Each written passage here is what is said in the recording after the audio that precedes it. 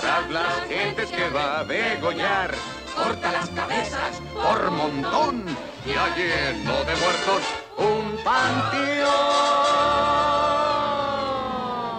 Bueno, eh, yo ya me voy. ¿eh? Buenas noches y que sueñen con los angelitos.